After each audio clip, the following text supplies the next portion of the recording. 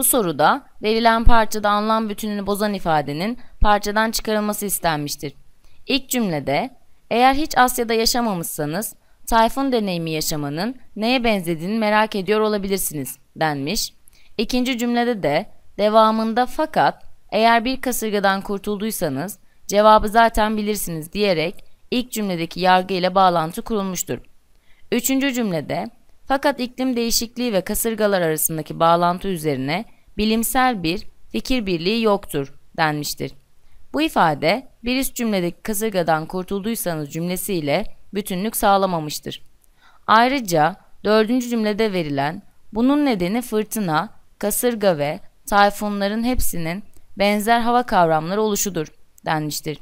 Bu ifade bizi ikinci cümledeki eğer bir kasırga ya da fırtınadan kurtulduysanız cevabı zaten bilirsiniz ifadesiyle anlamsal bir bütün oluşturur.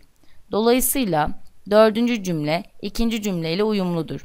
Bu nedenle doğru yanıt C seçeneğidir.